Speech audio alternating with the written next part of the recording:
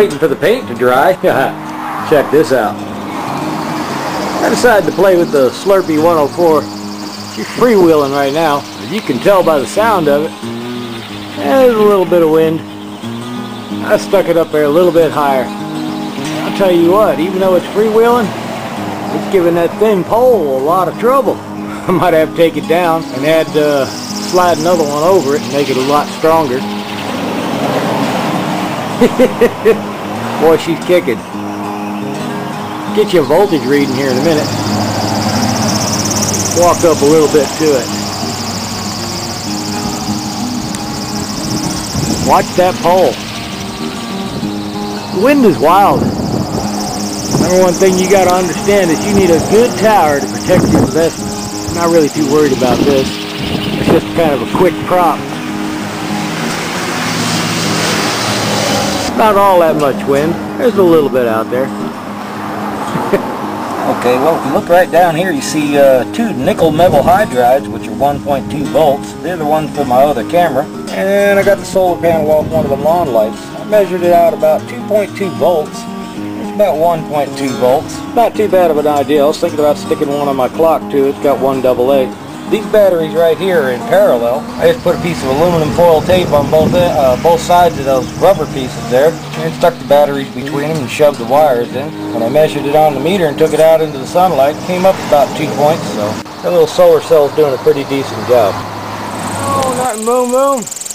Right now I'm taking some video of the Slurpie 104. Oh, really? Yeah. How's it doing? Oh, she's doing about 40, 45 volts. I'll pay what. Oh, I don't know. I ain't got hooked to the battery. She's just freewheeling up here. Boy, she's spinning though.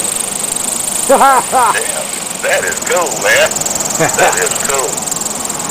anyway, Hey, Bill, this my brother's on Scott. Bill, that's, this is Scott, the guy that uh, him and I made the video together when we converted a, a, an induction motor to a generator. He put a, uh, how long is that prop? 20 inches? uh, it's 104 centimeters right now. It's 104 centimeters in diameter, the prop he put on it. Said right now it's spinning at the, of course he's not, you know, he doesn't have it hooked to a battery or anything, but it's putting out 48 volts.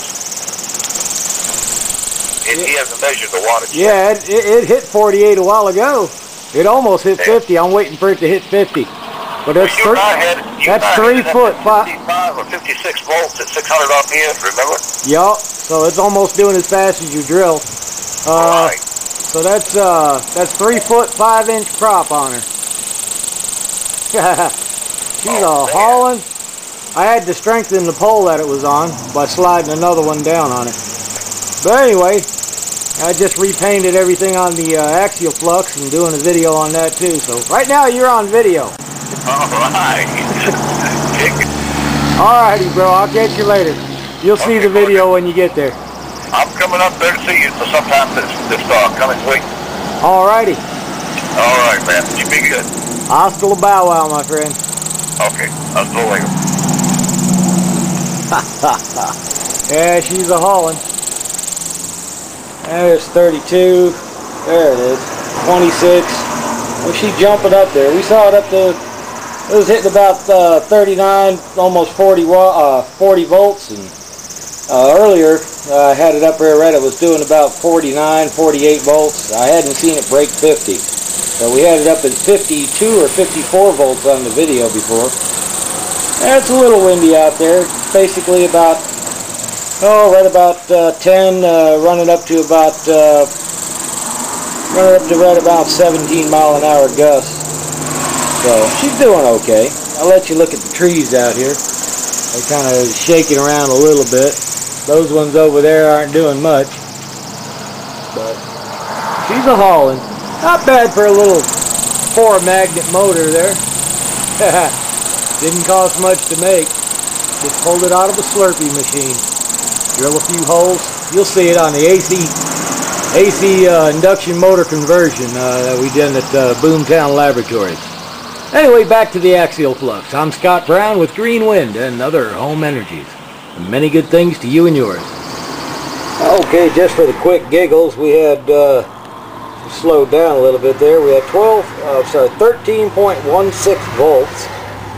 While this up here was at 0.07 So basically looking at about 910 milliwatt, eh, about 9 tenths of a watt. Ain't much, but you know what?